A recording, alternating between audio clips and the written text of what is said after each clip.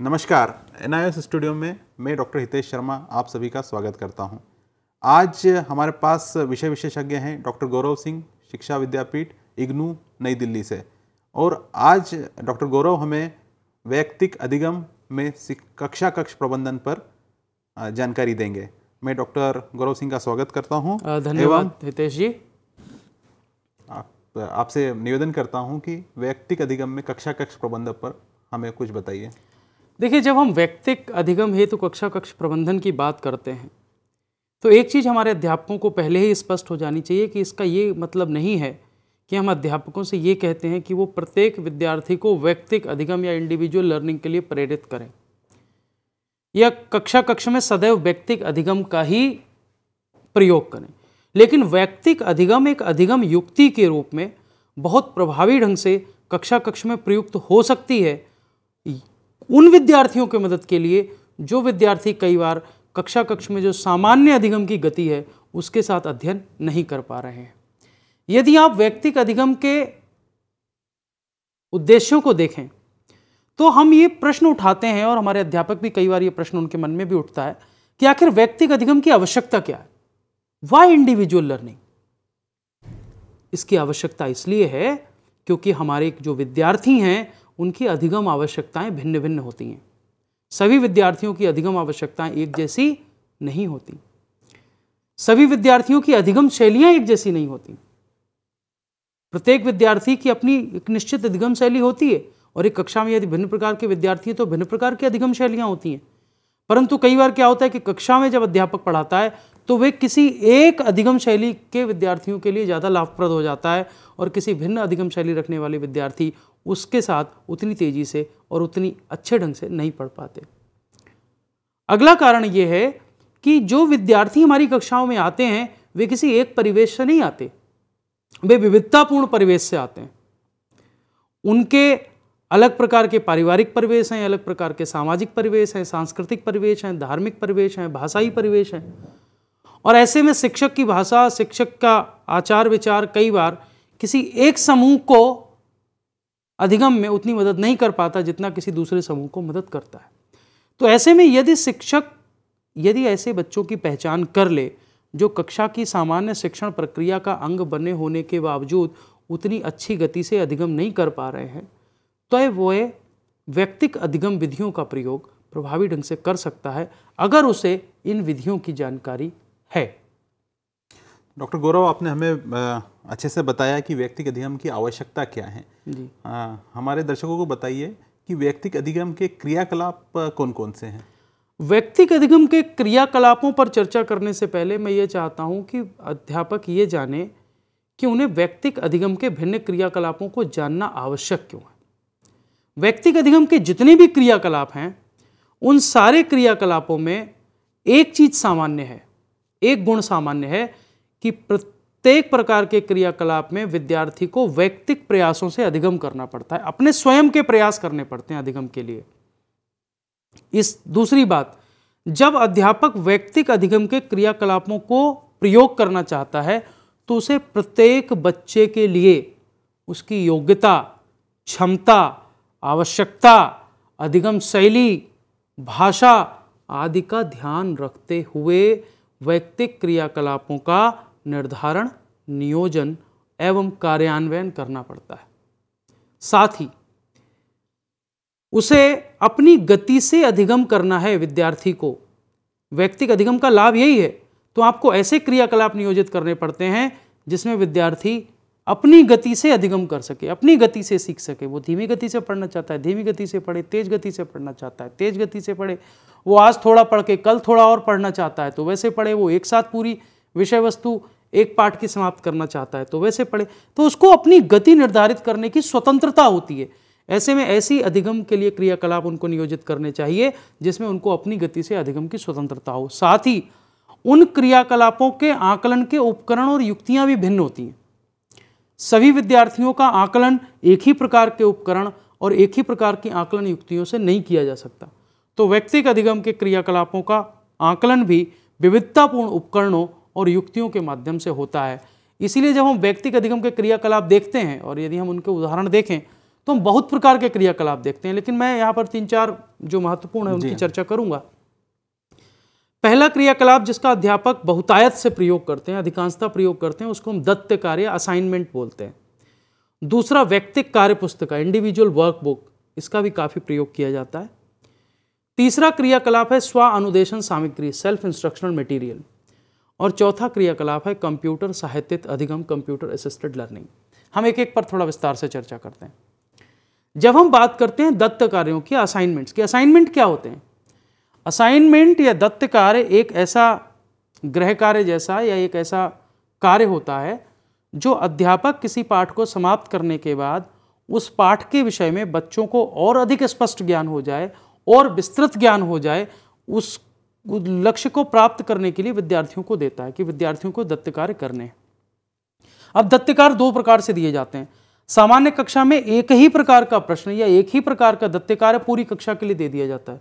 और सभी बच्चे उस दत्तकार का उत्तर लिख के लाएँगे या उस कार्य को करके आएँगे, वो केवल उत्तर लिखने के स्वरूप में नहीं होता, कई बार किसी प्रोजेक्ट के रूप में भी हो सकता है। उसको करके लाएँगे और सबका मूल्यांकन एक ही उपकरण से हो जाएगा। वो सामूहिक अधिगम में तो संभव है, व्यक्तिक अधिगम में संभव नहीं है। व्यक्तिगत अधिगम के लिए यदि आप दत्त कार्य निर्माण करने जा रहे हैं तो व्यक्तिगत अधिगम के लिए आपको विभिन्न प्रकार के दत्त कार्यों का स्पष्ट निर्धारण करना होगा, उनको छात्रों तक संप्रेषण करना होगा। प्रत्येक छात्र के लिए अलग प्रकार के दत्त कार्यों का निर्धारण करना होगा, क्योंकि प्रत्येक छात्र की अधिगम आवश्यकताएँ भिन्न है, उसकी अधिगम शैलियाँ भिन्न है। साथ ही, प्रत्येक छात्र का आपको पर्यवेक्षण करना होगा, उसकी मॉनिटरिंग आपको इंडिविजुअली करनी पड़ेगी। साथ ही, उन छात्रों के दत्त कार्यों का आपको आकलन करके उनको उचित प्रतिपुष्टि प्रदान करनी होगी। जब हम उचित प्रतिपुष्टि प्रदान करने की बात करते हैं तो वहाँ पर मेरा आशय ये है कि दत्त कार्य का उद्देश्य केवल बच्चों ने कितना सीखा, इसका आकलन करना नहीं है। दत्त कार्य एक अधिगम उपकरण भी है और दूरस्थ शिक्षा में तो इसका बहुत प्रभावी उपयोग होता है कि बच्चे जिन दत्त कार्यों को करके देते हैं, अध्येता, उन पर उनके अध्यापक कुछ उनको टिप्पणियाँ देते हैं, उनको लिखते हैं कि उन्होंने कहाँ अच्छा लिखा, कहाँ खराब लिखा, क्या और लिख सकते थे, कहाँ और सुधार की आवश्यकता है। वह प्रतिपुष्टि उनको आगे आने वाले कार्यों में सुधार के लिए प्रेरित करती है। तो दत्त कार्यों का प्रयोग बहुत सावधानी से करना चाहिए, भिन्न प्रकार के दत्त कार्यों का प्रयोग करना चाहिए।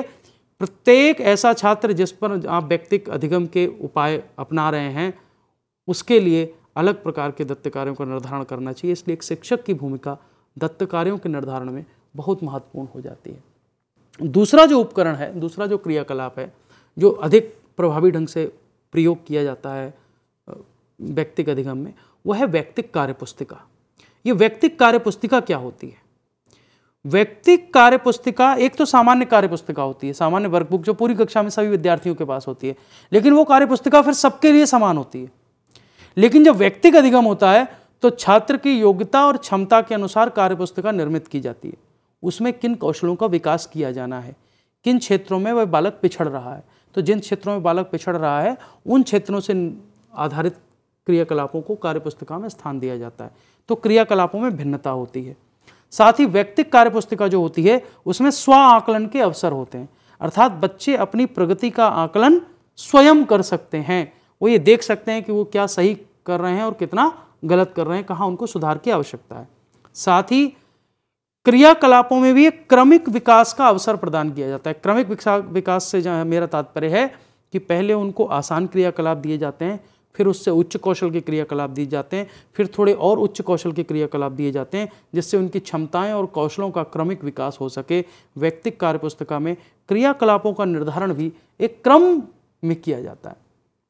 तीसरी, जो बहुत प्रभावी स्वाधिगम सामग्री है, खासतौर पर दूरस्थ शिक्षा में तो इसका बहुत प्रयोग होता है। ये व्यक्तिक अधिगम का एक बड़ा उपकरण है, जिसको हम स्वानुदेशन सामग्री या सेल्फ इंस्ट्रक्शनल मटेरियल बोलते हैं।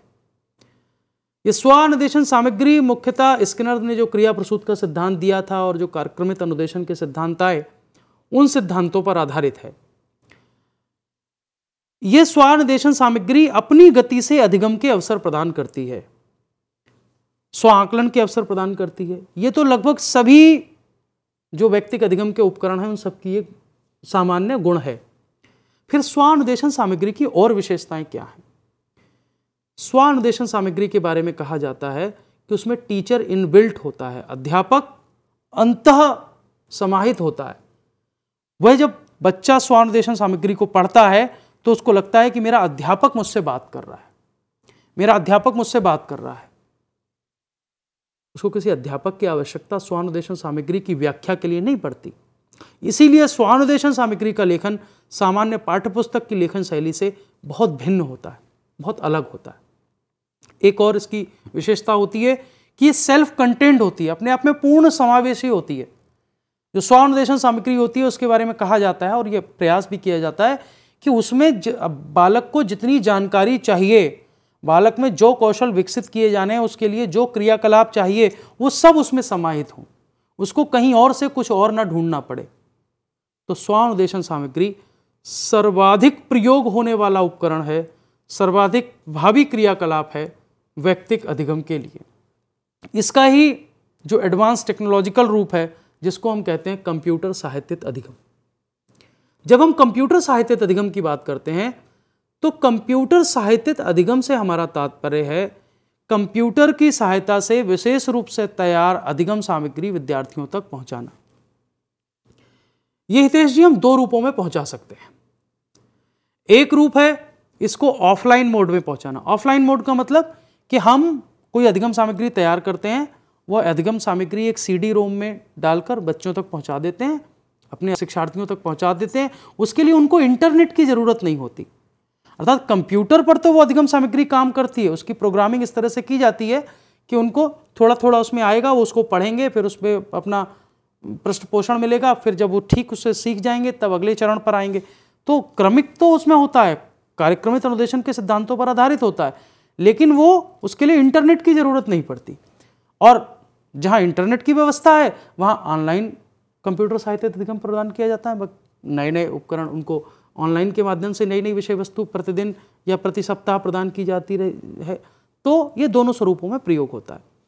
कंप्यूटर साहित्य अधिगम शैली की एक और अच्छी विशेषता ये इसमें एक तो प्रतिपुष्टि के पर्याप्त अवसर होते हैं। कि उनको जितनी बार चाहिए उतनी बार प्रतिपुष्टि मिल जाती है। साथ ही वो जितनी बार चाहें उतनी बार उसको रिपीट कर सकते हैं। उसको बार बार बार बार बार बार दोहरा सकते हैं। अपनी गति से अधिगम कर सकते हैं। और उसको रखना आसान होता है। लेकिन फिर वही बात है कि कंप्यूटर साहित्य अधिगम जैसे व्यक्तिक अधिगम के उपाय उन विद्यार्थियों के लिए ही प्रयोग किए जा सकते हैं, जिन विद्यार्थियों के लिए या तो विद्यालय में या उनके घर पर कंप्यूटर उपलब्ध है। यदि वो कंप्यूटर तक उनकी पहुँच नहीं है तो फिर वो कंप्यूटर का प्रयोग, कंप्यूटर साहित्य अधिगम सामग्री उनके लिए बहुत प्रभावी नहीं है। गौरव जी आपने हमें क्रियाकलाप जो व्यक्ति व्यक्तिक अधिगम के विभिन्न क्रियाकलाप हैं इनके बारे में बहुत विस्तार पूर्वक बताया। लेकिन जैसा आपने बताया कि जो व्यक्तिक अधिगम का हम नियोजन करते हैं उसका क्रियान्वयन करते हैं उसका आकलन या मूल्यांकन करते हैं लेकिन यह एक चुनौतीपूर्ण कार्य है। हाँ। तो इन चुनौतीपूर्ण कार्यों पर कुछ प्रकाश डालिए और ये बताइए हमारे दर्शकों को कि व्यक्तिक अधिगम का जो प्रबंधन है उसको प्रबंधन में क्या क्या चुनौतियाँ आती हैं? चुनौतियों का यहाँ पर जहाँ तक संदर्भ है, वो चुनौतियों का संदर्भ है शिक्षक से। कि यदि शिक्षक को व्यक्तिक अधिगम शैली अपनानी है, कुछ विद्यार्थियों के लिए व्यक्तिक अधिगम को, का सहारा लेना है तो उसका प्रबंधन वो किस प्रकार करे? चुनौतीपूर्ण है, ये मैं मानता हूँ, लेकिन असंभव नहीं है। चुनौतीपूर्ण क्यों है? क्योंकि पहली चुनौती है उसके सामने छात्रों की भिन्न रुचियों की जानकारी हासिल करना। प्रत्येक छात्र की अपनी अलग अलग रुचि होती है। और उसकी जिस क्षेत्र में रुचि होती है, जिस प्रकार के स्वरूप में रुचि होती है, यदि आप पाठ्यपुस्तकों को भी देखें तो कुछ बच्चों को कोई एक पाठ्यपुस्तक ज़्यादा पसंद आती है, दूसरी पाठ्यपुस्तक पसंद नहीं आती। क्यों? क्योंकि उसमें उसकी भाषा शैली उसको समझ में नहीं आती। उसमें जो उसको विषय वस्तु प्रस्तुत की गई है, उसका प्रस्तुतिकरण में उसकी रुचि नहीं होती। जिसमें चित्र ज़्यादा होते हैं, कई बार वो पाठ्यपुस्तकें पसंद आती हैं। इसी प्रकार से भिन्न प्रकार के क्रियाकलापों में उनकी रुचियाँ भिन्न भिन्न होती हैं। कुछ सामूहिक क्रियाकलापों में ज़्यादा भाग लेना चाहते हैं। कुछ ऐसे क्रियाकलाप करना चाहते हैं जहाँ उनको कुछ चैलेंजिंग टास्क दिया जाए, कुछ चुनौतीपूर्ण कार्य दिया जाए, जबकि कुछ ऐसे क्रियाकलापों को पसंद करते हैं जो आसान क्रियाकलाप हों। कि छात्रों की रुचियाँ विभिन्न क्षेत्रों में भिन्न भिन्न होती हैं। अध्यापक के सामने चुनौती यह है कि वो कैसे पता लगाए? क्योंकि जब तक उसको छात्रों की रुचियों का पता नहीं होगा, वो अच्छी और उचित व्यक्तिक अधिगम क्रियाकलाप का नियोजन नहीं कर सकता। दूसरी चुनौती है अपने छात्रों की अधिगम शैलियों की जानकारी प्राप्त करना। कि उन कि अधिगम शैलियाँ क्या हैं? सबकी अलग अलग अधिगम शैली होती है। कुछ बच्चे, आपने देखा होगा, लिखकर पढ़ना ज़्यादा पसंद करते हैं। लिखित, यदि उनके सामने विषय वस्तु है तो अच्छा सीख जाते हैं। कुछ जब तक चर्चा परिचर्चा में भाग नहीं लेते, तब तक उनको समझ में नहीं आता। कुछ व्यक्तिक चिंतन को अधिक महत्व देते हैं तो कुछ भ्रमण और जो वास्तविक अनुभव है वो जब तक उनको ना कराए जाएँ, तब तक वो नहीं सीखते। ऐसे में व्यक्तिक अधिगम के प्रबंधन के सामने चुनौती ये है कि जब आप व्यक्तिक अधिगम के लिए विषय वस्तु का चयन कर रहे हैं तो जब तक आपको विद्यार्थी की अधिगम शैली का पता नहीं है, तब तक उसके लिए सही क्रियाकलाप का नियोजन नहीं कर सकते। और तीसरी है उसकी क्षमता। यहाँ पर अधिगम क्षमता की बात है कि वो कितना पढ़ सकता है। बहुत से बच्चे, हो सकता है चार पंक्ति, छह पंक्ति या दस पंक्ति की विषय वस्तु सीख सकते हैं। कुछ बच्चे, हो सकता है कि बीस पंक्ति एक साथ में सीख सकते हो पढ़ करके उसके आगे उसको ग्रहण कर सकते हो, उसके बारे में चर्चा कर सकते हो, उसके बारे में चिंतन कर सकते हो। उनकी अधिगम क्षमताएँ भी भिन्न भिन्न होती हैं। तो व्यक्तिगत अधिगम से जुड़ी पहली चुनौती है अध्यापक के सामने कि वह छात्रों की विभिन्न प्रकार की रुचियों, उसकी विभिन्न प्रकार की अधिगम शैलियों और उसकी अधिगम क्षमताओं का ठीक प्रकार से पता लगाए। यदि वो ऐसा कर पाएगा तो वह एक चरण आगे बढ़ जाएगा। दूसरी चुनौती जो व्यक्तिक अधिगम के प्रबंधन से जुड़ी है वह है कक्षा में छात्रों की संख्या। यदि कक्षा में कम छात्र संख्या है तो संभव है कि अध्यापक प्रत्येक छात्र के बारे में व्यक्तिक रूप से विशिष्ट जानकारियाँ एकत्र कर ले। परंतु भारतीय परिस्थितियों में आज भी कई बार कक्षाओं में छात्रों की संख्या कुछ जगहों पर बहुत ज़्यादा होती है। जी हाँ। ऐसी स्थिति में अध्यापक अधिक संख्या में छात्रों के होने पर उन पर व्यक्तिक रूप से ध्यान नहीं दे सकता। उनके लिए व्यक्तिक क्रियाकलापों के लिए मान लीजिए सत्तर बच्चों, अस्सी बच्चों या साठ बच्चों या पचास बच्चों की कक्षा और एक अध्यापक है, वो कितने क्रियाकलाप निर्मित करेगा? तो कक्षा में छात्रों की संख्या भी एक बड़ी चुनौती है। तीसरी बड़ी चुनौती है अध्यापक पर कार्यभार। जहाँ बच्चों की संख्या अधिक है, वहाँ बहुत सारे विद्यालयों में आपने देखा होगा अध्यापकों पर बहुत प्रकार का कार्यभार है। शैक्षिक, गैर शैक्षणिक कार्यभार भी है। अब तो काफ़ी हद तक कम हो गया शिक्षा का अधिकार अधिनियम आने के बावजूद लेकिन उसके बाद भी उन पर शैक्षणिक दृष्टि से भी यदि अध्यापकों की संख्या कम है कक्षाएँ ज़्यादा हैं तो उन पर बहुत अधिक कार्यभार है। तो ऐसे कार्यभार अधिक होने पर उनका जो मुख्य बिंदु रहता है वो ये चिंतन करते हैं कि कैसे मैं पहले पाठ्य वस्तु को पूरा करूँ। और पाठ्य वस्तु को पूरा करने के क्रम में वो व्यक्तिक अधिगम जैसी विशिष्ट शैलियों से बचते हैं क्योंकि ऐसा नहीं कि उसको करना नहीं चाहते। उसको करने के लिए उन पर समय नहीं होता। तो ये एक बड़ी चुनौती है व्यक्तिगत अधिगम के प्रबंधन में। अध्यापकों पर यदि कार्यभार ठीक प्रकार से नियोजित कर दिया जाए तो निश्चित तौर पर अध्यापक व्यक्तिगत अधिगम को प्रभावी ढंग से उपयोग करने लगेंगे। और इसकी सबसे बड़ी चुनौती है उचित सामग्री की उपलब्धता। व्यक्तिक अधिगम के लिए आपको विशिष्ट प्रकार की अधिगम सामग्री चाहिए। वो अधिगम सामग्री कहाँ उपलब्ध है? वो अधिगम सामग्री उसको कहाँ से मिलेगी? मान लीजिए उसको सेल्फ इंस्ट्रक्शनल मटेरियल चाहिए। स्वाधिगम सामग्री चाहिए। स्वाधिगम सामग्री कहाँ उपलब्ध है? वो कहाँ से उसको ला सकता है? वो चाहता है कि वो कंप्यूटर साहित्य अधिगम के क्रियाकलापों का प्रयोग करे। लेकिन क्या वैसे प्रोग्राम उसको आसानी से उपलब्ध है? यदि उपलब्ध हैं तो क्या बच्चे के घर में कंप्यूटर है? क्या विद्यालय में जो कंप्यूटर है, वो इंडिविजुअल लर्निंग के लिए व्यक्तिगत अधिगम के लिए प्रयोग किया जा सकता है? कक्षा के कितने विद्यार्थियों को आप वो कंप्यूटर दे सकते हैं? या दत्त कार्य हैं तो दत्त कार्य कितने प्रकार से आप करा सकते हैं?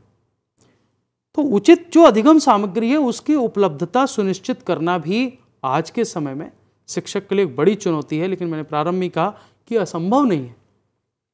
शिक्षक को इसके लिए पूर्ण मनोयोग से प्रयास करने होंगे। यदि हमारे शिक्षक इसके लिए प्रयास करेंगे तो निश्चित तौर पर वो व्यक्तिगत अधिगम की बहुत सारी चुनौतियों से पार पा सकते हैं।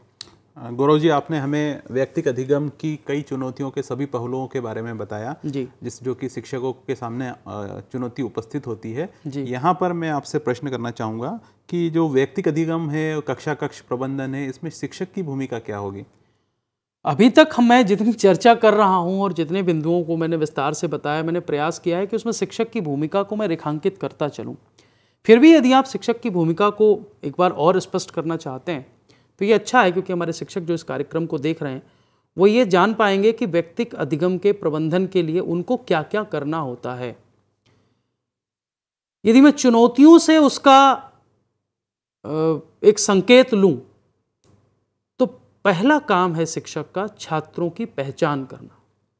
छात्रों की पहचान से मेरा तात्पर्य है छात्रों की योग्यताओं की पहचान करना, छात्रों की क्षमताओं की पहचान करना छात्रों की अधिगम शैलियों की पहचान करना, छात्रों के परिवेश की पहचान करना, छात्रों के अधिगम आवश्यकताओं की पहचान करना। क्योंकि जब तक एक अध्यापक छात्रों की विविध अधिगम आवश्यकताओं को नहीं पहचानेगा, वो उनके लिए कैसे उचित व्यक्तिगत अधिगम प्रणाली का प्रयोग करेगा? किस सामग्री का उपयोग करेगा? यदि वो इनकी पहचान कर लेता है तो उसकी दूसरी महत्वपूर्ण भूमिका है अधिगम सामग्री की व्यवस्था करना। क्या अधिगम सामग्री विद्यालय में उपलब्ध है? क्या इस प्रकार की अधिगम सामग्री किसी साथी के पास उपलब्ध है? क्या कोई अभिभावक इसमें मदद कर सकता है? क्या वह स्वयं इस प्रकार की अधिगम सामग्री विकसित कर सकता है? या बाज़ार में कहीं वो कम दाम पर क्या उपलब्ध है? तो अधिगम सामग्री कहाँ से लेकर आएगा व्यक्तिक अधिगम के लिए?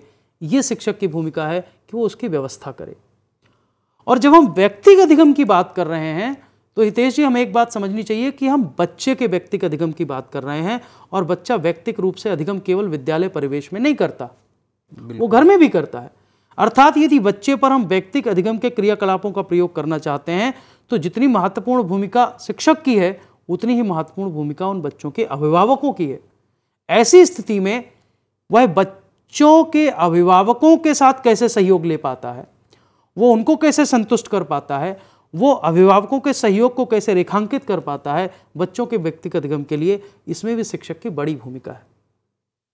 और इसके बाद जो शिक्षक की अगली महत्वपूर्ण भूमिका है, वह है आकलन के उपकरणों को पहचान करने की व उनका उपयोग करने की। हमने जब व्यक्तिक अधिगम पर चर्चा शुरू की थी, तब मैंने कहा था कि व्यक्तिक अधिगम का आकलन सामान्य आकलन उपकरणों से नहीं हो सकता। क्योंकि सामान्य आकलन उपकरण जो कक्षा कक्ष में प्रयोग किए जाते हैं, वो अधिकांशतः सामूहिक आकलन के उपकरण हैं। पूरी कक्षा को एक ही मानक पर जब हमें मूल्यांकित या आकलित करना है, तब हम उन उपकरणों का प्रयोग करते हैं। लेकिन वैयक्तिक अधिगम के लिए हमें जिन आकलन उपकरणों का प्रयोग करना है, वे किस प्रकार के उपकरण होंगे? उनकी पहचान करनी होगी। वे उपकरण उसको कहाँ से मिलेंगे? क्या उसको स्वयं निर्मित करने हैं? यदि स्वयं निर्मित करने हैं तो केवल मिलना और निर्मित करना ही पर्याप्त नहीं है, उनका वो उपयोग कैसे करेगा? उसके उपयोग में उसको कौन सी सावधानियाँ रखनी होंगी? ये जो सारे पक्ष हैं, चाहे वो छात्रों की पहचान का पक्ष हो, अधिगम आवश्यकताओं की पहचान का पक्ष हो, अधिगम सामग्री की व्यवस्था करने का पक्ष हो, अभिभावकों से सहयोग लेने का पक्ष हो, आकलन के उपकरणों की पहचान व उपयोग करने का पक्ष हो, इन सारे पक्षों में शिक्षक की भूमिका बहुत महत्वपूर्ण हो जाती है।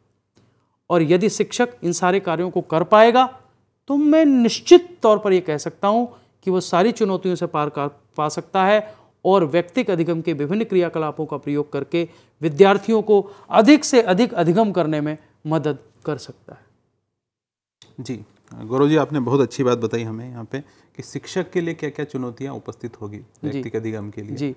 आ, तो व्यक्तिक अधिगम से अधिगम को तो अधिक प्रभावी बनाया जा सकता है कक्षा में शिक्षक उसका अच्छा प्रबंध करें और कक्षा में उसकी आवश्यकताओं को समझे उसकी हम्म। चुनौतियों को समझे हम्म। और उन चुनौतियों को समझते हुए उनको उनके उनको पार जाकर किसी तरह से उसका अगर कक्षा कक्ष प्रबंधन करे तो व्यक्तिगत अधिगम को और प्रभावी बनाया जा सकता है निश्चित तौर पर देखिए अध्यापक पर ही सब कुछ निर्भर करता है और अध्यापक के साथ साथ बच्चों के अभिभावकों पर भी अभिभावक क्योंकि कई बार क्या होता है कि कक्षा कक्ष में जो प्रक्रिया चल रही है यदि अध्यापक किसी बच्चे के अभिभावक से कहते हैं कि मैं आपके बच्चे के साथ ये अतिरिक्त प्रयास करना चाहता हूँ, आप क्यों करना चाहते हैं? हमारे बच्चे में क्या कमी है? तो अभिभावकों को इसके लिए तैयार करना कि मैं आपके बच्चों के साथ व्यक्ति, आपके बच्चे के साथ व्यक्तिक अधिगम के किसी क्रियाकलाप को अतिरिक्त करना चाहता हूँ, क्योंकि मुझे ऐसा लगता है कि इसको इस प्रयास के द्वारा अधिगम की आवश्यकता है। इसके लिए अभिभावकों को तैयार करना इसके लिए अध्यापकों को बहुत अधिक प्रयास करना पड़ता है। कहा ना, अध्यापकों को मुख्यतः दो तीन चीज़ों का प्रयास करना पड़ता है। एक तो बच्चों की पहचान करना, क्योंकि आप सारे बच्चों को तो नहीं कह सकते। कक्षा में यदि मेरे तीस बच्चे भी हैं कि मैं तीस के तीस बच्चों पर अवैक्तिक अधिगम क्रियाकलापों का प्रयोग करूँगा, नहीं कर सकते। हर एक विषय वस्तु के लिए भी नहीं कर सकते। आप चाहें कि मेरे को जितना विषय दिया गया है, मैं उस पूरे विषय का करूँगा तो वो भी नहीं कर सकते। क्योंकि व्यक्तिक अधिगम व्यक्तिक प्रयासों द्वारा होता है।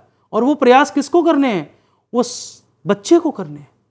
बच्चे को तैयार करना व्यक्तिक क्रियाकलापों के लिए, ताकि वो अपनी गति से अधिगम कर सके, वो भी एक बड़ी चुनौती है शिक्षक के लिए। शिक्षक को ये सोचना कि इस बच्चे के साथ मैं व्यक्तिक अधिगम का कोई क्रियाकलाप करूँगा और वह क्रियाकलाप करके मैं उस बच्चे को आगे बढ़ा दूँगा तो उसके लिए उसको ये प्रयास करना होगा, उसको ये बताना होगा कि, बालक, तुम्हें क्यों इसकी आवश्यकता है। अक्सर कक्षाओं में बच्चे छोटे होते हैं उनको इतनी समझ नहीं होती। तो ऐसे में हमें ये किसको समझाना पड़ता है? हमें उनके माता पिता को समझाना पड़ता है। तो माता पिता को समझाना हमारी चुनौती है। बच्चों को तैयार करना हमारी चुनौती है। विषय वस्तु का ढूंढना हमारी चुनौती है। अच्छे आकलन उपकरणों को इकट्ठा करना हमारी चुनौती है एक शिक्षक के तौर पर। और यदि हम इन चुनौतियों से पार पा सकते हैं तो व्यक्तिगत अधिगम हमारे लिए कोई ऐसा विषय नहीं है कोई ऐसा उपकरण नहीं है जिसका प्रयोग हम कक्षा कक्ष में ना कर सकें और कक्षा कक्ष का प्रबंधन हम व्यक्तिगत अधिगम हेतु ना कर सकें। गौरव जी आपका बहुत बहुत धन्यवाद। आज आपने व्यक्तिगत अधिगम को बहुत ही अच्छे तरीके से हमारे दर्शकों को समझाया। मैं स्टूडियो में आने के लिए आपका बहुत बहुत धन्यवाद देता हूँ। मैं अपने सभी दर्शकों को भी बहुत बहुत धन्यवाद देता हूँ इस कार्यक्रम को धैर्यपूर्वक एवं ध्यानपूर्वक सुनने के लिए। धन्यवाद। बहुत बहुत धन्यवाद।